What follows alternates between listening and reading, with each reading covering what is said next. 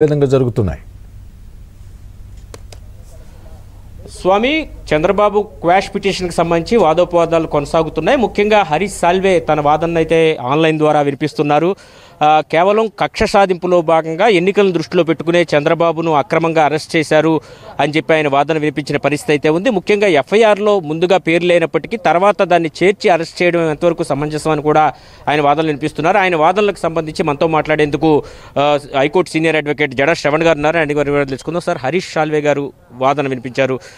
Governor గవర్నర్కు తెలియకుండా arrest చేయడం కావచ్చు ఎఫ్ఐఆర్లో నేమ్ లేకుండా తర్వాత ఆయన్ని అరెస్ట్ చూపించడం కావచ్చు ఇవన్నీ తప్పులు తడగ్గా ఉంది రిమాండ్ రిపోర్ట్ అని కూడా వాదించిన పరిస్థితి. ఏం చెప్తారు sir two thousand fifteen sixteen పీరియడ్లో గవర్నమెంట్ ఎలిగేషన్ ప్రకారం ఈ స్కిల్ డెవలప్మెంట్ కుంభకోణం జరిగింది అనేది వాళ్ళ వాదన. So two thousand fifteen sixteen పీరియడ్లో జరిగినప్పుడు ఈ రాష్ట్ర ప్రభుత్వం రెండు వేల పంతొమ్మిదిలోకి అధికారంలోకి వచ్చిన తర్వాత almost all four and half years తర్వాత డిలే తోటి ఎఫ్ఐఆర్ రిజిస్టర్ చేశారు. పోనీ ఎఫ్ఐఆర్ రిజిస్టర్ చేసినప్పుడైనా సరే చంద్రబాబు నాయుడు గారి పేరుందా అంటే ఆ పేరు లేదు. సో చంద్రబాబు నాయుడు పేరు లేకుండా ఎవరి పేర్లు లేకుండా ఒక వేగ్గా ఒక ఎఫ్ఐఆర్ రిజిస్టర్ చేశారు. సో టూ థౌజండ్ సిక్స్టీన్లో జరిగినటువంటి ఎలిగేషన్ మీద బిఫోర్ టూ థౌజండ్ ఎయిటీన్ కనుక వాళ్ళు FIR register చేస్తున్నట్టయితే governor permission need not required.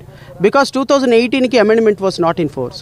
But two thousand eighteen తర్వాత ప్రివెన్షన్ ఆఫ్ కరప్షన్కి ఖచ్చితంగా రాష్ట్ర గవర్నర్ యొక్క అనుమతి ఈవెన్ రిజిస్ట్రేషన్ ఎఫ్ఐఆర్ కూడా కావాలి అని పార్లమెంట్ చట్టం చేసిన తర్వాత వీళ్ళు టూ థౌజండ్ ట్వంటీ వన్లో అంటే అమెండ్మెంట్ తర్వాత మూడు సంవత్సరాల తర్వాత ఎఫ్ఐఆర్ రిజిస్టర్ చేసినప్పుడు ఖచ్చితంగా ప్ర పర్మిషన్ అనేది గవర్నర్ పర్మిషన్ అనేది రిజిస్ట్రేషన్ ఎఫ్ఐఆర్ కూడా అవసరం.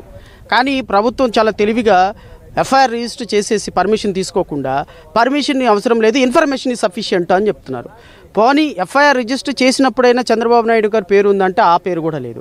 So after two thousand twenty వన్లో అంటే ట్వంటీ వన్ తర్వాత ట్వంటీ టూ ట్వంటీ త్రీ నాలుగున్నర సంవత్సరాల తర్వాత ఎఫ్ఐఆర్ రిజిస్టర్ చేయటం ఎఫ్ఐఆర్ రిజిస్టర్ చేసిన రెండు సంవత్సరాల తర్వాత చంద్రబాబు నాయుడుని అరెస్ట్ చేయటం ఆ అరెస్ట్ చేసే సమయానికి కూడా చంద్రబాబు నాయుడు పేరు ఎఫ్ఐఆర్లో లేకపోవటం ఎఫ్ఐఆర్లో లేకపోగా ఈ రెండు సంవత్సరాల నుంచి కనీసం ఒక్క ఒక్క రూపాయి ఆధారం కూడా అతని దగ్గర నుంచి సేకరించకుండా కేవలం ఎజంప్షన్ తోటి ఒక హైపోథెటికల్ వ్యూ తోటి చంద్రబాబు నాయుడుకి డబ్బులు వచ్చినాయి అనేటువంటి ఆలోచనతోటి ప్రజంప్షన్ తోటి ఎఫ్ఐఆర్ రిజిస్టర్ చేసి ఆయన అరెస్ట్ చేసి జే స్టేషన్కి తీసుకొచ్చిన తర్వాత ఎయిట్ థర్టీ సెవెన్గా ఆయన పేరు పెట్టడం అనేది ఒక న్యాయ చరిత్రలో ఒక మాజీ సీఎంని అరెస్ట్ చేసిన విధానం ఇదా అని ప్రజలందరూ నవ్వుకుంటున్నారు.